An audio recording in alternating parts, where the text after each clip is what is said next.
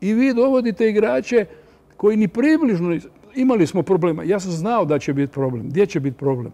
Vratar. Vratar koji ne brani godinu dana i stane na gol.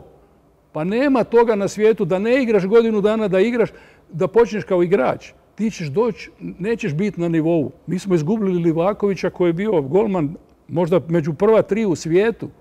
I nemoguće je očekivati da će Nevesić koji ne brani godinu, godinu i pol, znači strateški, kad pogledamo malo još unazad, nije se, on je doveden prije par godina sa ciljem da će biti zamjena za, ovog, za, za Livakovića, međutim nije se desilo taj famozni odlazak Livakovića i to se i pitanje se postavlja, a zašto nije otišao? Jer tri, četiri godine je bilo ide, ne ide i na temelju toga je došao Nevisić koji je sigurno kvalitetan vratar.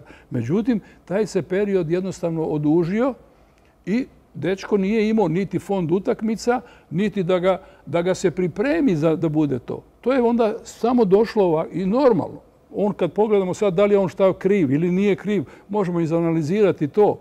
Ali teško je nešto očekivati, on veli ništa nije, nije obranjeni, ali za, to, je, to je normalna situacija, to je očekivano bilo. To sam im govorio i, Bišćanu, morate se odrediti za vrtara koji će biti taj kad Livaković danas sutra ode.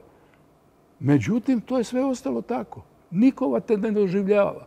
Ali s obzirom što sam prošao u životu i što sam vidio i koliko sam u tom nogometu unutra involviran, u, u Dinamu, u reprezentaciju, ja mislim da se imam pravo da kažem svoje mišljenje i moje mišljenje, ne kažem ja da sam ja sad genije nekaki, ali to što sam ja napravio u svojoj karijeri i trenerskoj i ovako i onako, to je jedno veliko iskustvo.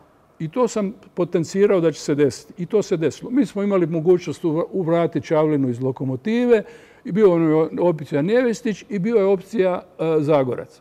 I mi smo se odlučili u konačnici za Nevestića, ali kasno. Mislim, pre, kasno. On je trebao braniti neke utakmice u prošloj sezoni. Pa, pet, šest, sedam utakmica. Pogotovo je laganije malo, da, da, Jasno.